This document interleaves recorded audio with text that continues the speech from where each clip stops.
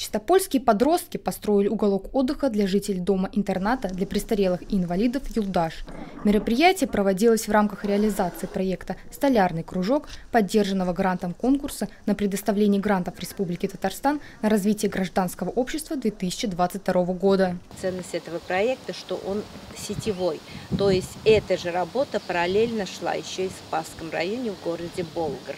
Там такие же подростки, ребята делали эти изделия и тоже их дарили именно людям серебряного возраста.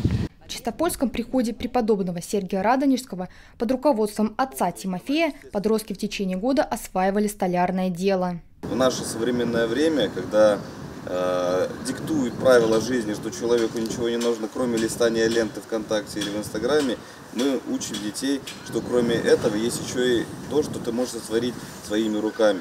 В рамках проекта ребята смастерили малые архитектурные формы, скамейки для отдыха и трехуровневые кашпо для цветов. Для подопечных дома-интерната было приготовлено три комплекта. Отец Тимофей решил лично доставить изготовление. Его радушно встретил персонал и жители дома-интерната. Для наших бабушек и дедушек внимание – это самое главное.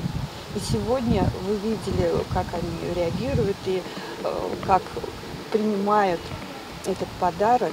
И здорово, что есть такие люди и есть такие добрые, замечательные дела. Елена Альбертовна выразила слова благодарности отцу Тимофею и всем, кто участвовал в этом добром деле. Декаду пожилых людей и жителям Юлдаша сделали такой замечательный подарок. Пенсионеры были в восторге. Удобные, нормально, удобно для меня. Сергей Григорьев и другие жители Юлдаша поблагодарили всех за подарок. На территории дома-интерната стало уютнее. Теперь свое время жители будут проводить в новом уголке.